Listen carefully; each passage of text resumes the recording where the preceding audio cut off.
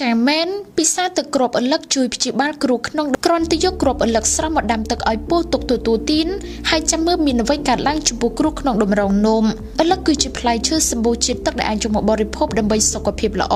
វាជាប្រភពវីតាមីន A វីតាមីន B1 B6 វីតាមីន C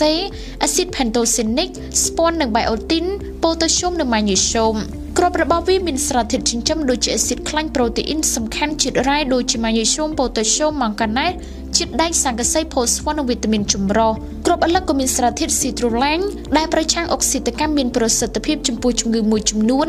ដូចជាជំងឺសរសៃឈាមឡើងរឹងជំងឺឡើងសម្ពាធឈាមខ្ពស់ឈឺទ្រូងនិងងាប់លឹងហើយគ្រាប់អលឹកក៏មានប្រសិទ្ធភាពព្យាបាលជំងឺតម្រងនោមនិងជំងឺផ្លូវទឹកមាត់ផងដែរពិសាវាដូចជាទឹកតែមិនថាគ្រោះខ្សាច់ក្នុងតម្រងនោមនឹងត្រូវបាត់ទាំងនេះគឺជាអត្ថប្រយោជន៍បន្ថែមនៅពេលដែលអ្នកពិសាទឹកតែគ្រាប់អលឹកការពីបេះដូង ពញាភាពចាស់បំបត្តិមុន ពង្រឹងសក់បង្ការជ្រុះសក់ពង្រឹងប្រព័ន្ធភាពស៊ាំព្យាបាលអាការៈហើមជួយបរោះបង្កើនមេជីវិតឈ្មោលនិងព្យាបាលជំងឺទឹកនោមផ្អែម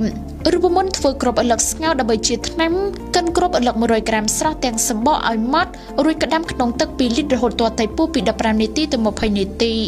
ចំនួននេះគឺល្មមគ្រប់គ្រាន់សម្រាប់ផឹកបាន2ថ្ងៃរីឯថ្ងៃទី3ត្រូវសម្រាកសិនបន្ទាប់មកថ្ងៃទី4ចាំបន្តផឹកឲ្យបាន2ថ្ងៃជាប់គ្នាទៀត